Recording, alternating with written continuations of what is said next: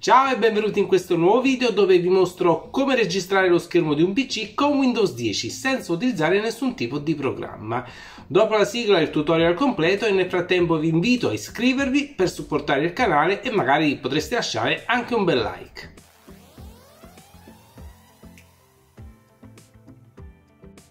Molti non sanno che in Windows 10 si trova un tool che permette di registrare lo schermo e l'audio del PC Basta andare in Start, Impostazioni e andiamo su Giochi, perché ovviamente questa applicazione è nata per il gaming e dobbiamo avere attivato qui sopra registra clip di gioco, dobbiamo selezionare anche qui apri barra dei giochi, qui troviamo le varie scorciatoie da tastiera Troviamo anche la scorciatoia per acquisire solo l'immagine dello schermo, quindi lo screenshot. Abbiamo quella che ci permette di uh, fare la registrazione rapida e altre funzioni varie.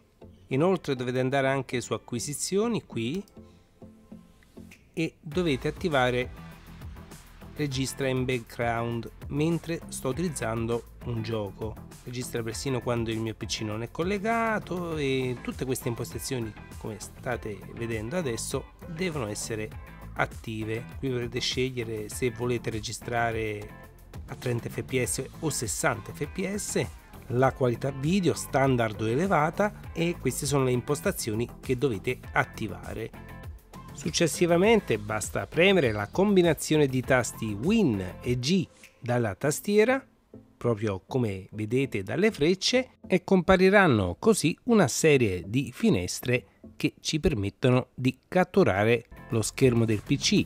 Io ho dovuto fare uno screenshot per spiegarvi un po' le funzionalità perché quando registrate queste finestre diventano trasparenti. Iniziamo dalla finestra principale dove è possibile iniziare la registrazione del video, fare degli screenshot, attivare e disattivare il microfono e registrare gli ultimi 30 secondi. Ovviamente queste stesse operazioni le potete fare anche attraverso le scorciatoie della tastiera.